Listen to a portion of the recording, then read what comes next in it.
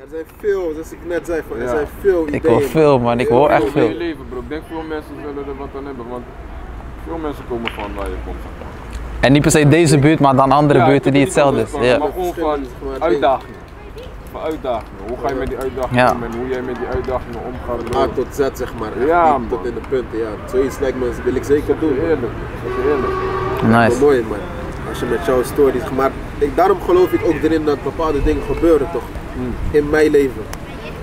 Als je kijkt naar, sinds dat ik mijn debuut heb gemaakt tot nu toe, deze vijf jaar, man, is alleen maar omhoog, boem, omlaag. Omhoog, boem, omlaag. Als ik dan terugkijk, ik denk van, soms denk ik van, waarom gebeurt het? Ik denk dat het gaat om die story, man. Het maakt, Maak die story mooier, zeg maar. Al die punten komen uiteindelijk bij elkaar. Vijf jaar mos, ben ik nu zeg maar prof, Mhm. debuut gemaakt bij Vitesse. Eh, door, door, door, door, snap je wat ik bedoel? Omhoog, wanneer ik alles omhoog gaat, boem, opeens snap je? Uit beeld. Mhm. Sparta, alles, woep, boem, opeens. Klopt. Uit beeld. En je- ze weten de reden niet, of snap je wat ik bedoel? ADO, spelen, spelen, spelen, boem. Je gaat van basisspeler naar jong mos, Ja. uit de selectie. Ja. Hoe kan het opeens zomaar? Snap je wat ik bedoel? Maar ik weet zeg maar. Jij weet jouw kant van het verhaal. Van, uh, they won't understand your journey. Ik weet wat mijn reis is. Snap wat ik bedoel? Ik weet waarom sommige dingen gebeuren. Is voor die, hoort bij mij, snap, bij mijn pad, bij mijn verhaal. En ik weet dat mijn verhaal later veel mensen zal inspireren. Dus ik vind het niet eens erg dat sommige dingen gebeuren. Snap je? Sommige dingen gebeuren, maakt niet uit hoe negatief het is. Ik las die boek van 50 Cent. Maakt niet uit in welke negatieve situatie jij mij kan zetten, haal er iets positiefs uit.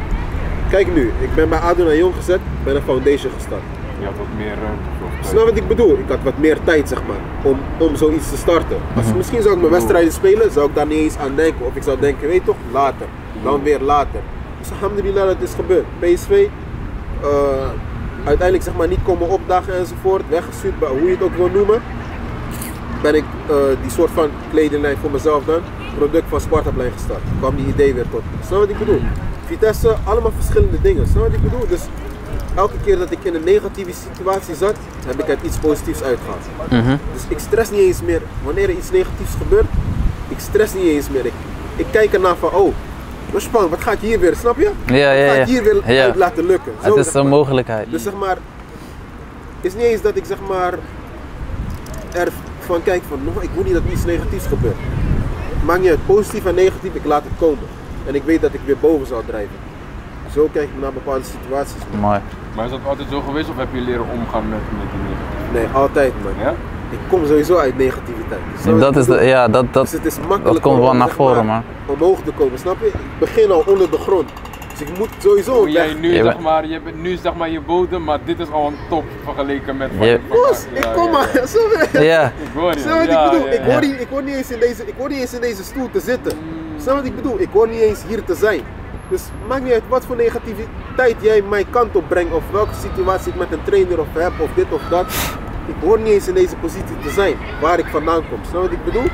Ik hoor op de hoek te zijn, dingen te verkopen of snap je wat ik bedoel? Andere dingen te doen, negatief. Dus snap je, ik lach het leven toe. Ik Ja, hoor niet eens te zijn. Ja, Wat man. er gebeurt. Of ik het nou Champions League win met voetbal of of ik morgen bij de rood heb werk. Het hoort allemaal bij mijn verhaal. Ik hoor hier niet te zijn. En zo ga ik elke, elke situatie in. Ik hoor, hier, ik hoor hier sowieso niet te zijn. Dus ik kan alleen maar winnen. ja man. Snap Mooi, mooi. Van waar ik kom, kan ik alleen maar winnen. Misschien mijn situatie nu, oh ja, je voetbalt omhoog, omlaag. Verlies ik, maar zo kijk ik niet. Van waar ik kom, kan ik alleen maar winnen.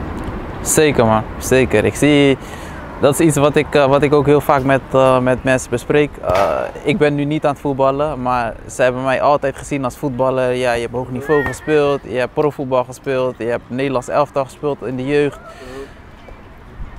Ik, ik kan hem niet zien als een verlies man. Ik bedoel van als ik zie waar, waar ik vandaan kom, zeg maar, hoe, welke dingen ik heb moeten doorgaan en dat ik nu als mens leef waar ik sta, wa- wat ik, dat ik mensen, ik heb een gesprek, hier, dit, dat, bla bla. Mensen zeggen van ja, maar die gozer, eh, hij kon zo goed voetballen, dus hij had, Hoort bij jouw hoort bij mijn pad. Ja. En ik ben nu dingen aan het doen die ik inderdaad, als ik voetballen, dat weet ik zeker. Want nadat ik ben gaan, toen ik niet meer voetbalde, zijn er heel veel dingen. Vanaf toen kwam dat ding van Ali. Eh, Al die dingen zou ik allemaal nooit de tijd voor hebben gehad. Doordat ik bijvoorbeeld een jaar geblesseerd was. Oh nee, een half jaar zat ik zonder club. Toen ben ik ineens gaan nadenken. Toen, toen ging ik dingen. Toen ging ik dit. Toen, toen dacht ik ineens, wow, de wereld is groot, man. Ja. En begrijp me niet verkeerd, ik had ook in stadions willen staan. Maar mijn pad, mijn pad is mijn pad en ik heb niet zoiets van, oh ik ben zuur, want ik heb niet in dit stadion gestaan, dat stadion gestaan. Ik kan nu deze dingen kan ik doen. Ik kan jongeren helpen. Ik bedoel van, we helpen, ehm, nou niet we. Eh, laatste gesprek wat we hadden gehad met Carlos. Carlos kent een, een, eh, een, een jongboy. Ik ga zijn naam niet zeggen, maar in ieder geval die komt bij mij achter in, in Hoogvliet, was hij aan het trainen. Er is een jongen die heeft moeten vechten voor zijn leven, want die jongen die had ongelukken gehad, dingen zijn op straat gebeurd, wat dan ook.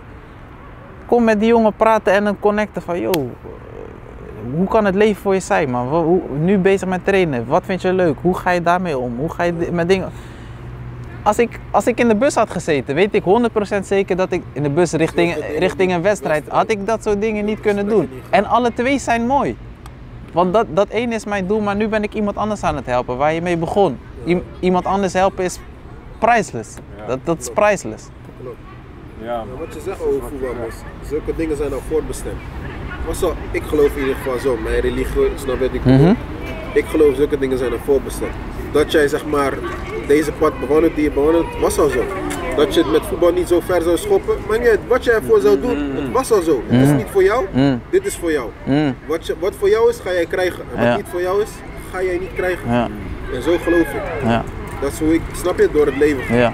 Wat bij mij bij ADO, als het voor mij voorbestemd was om daar te spelen, hun in de Eredivisie te houden enzovoort, zou ik dat doen. Het is Zeker. niet voorbestemd, maakt niet uit wat ik zou doen. Had ik 100 goals gemaakt. Het was niet voorbestemd. Ja, het ik doen? snap wat je bedoelt, man. Dus wat er tussendoor is gebeurd, Ja.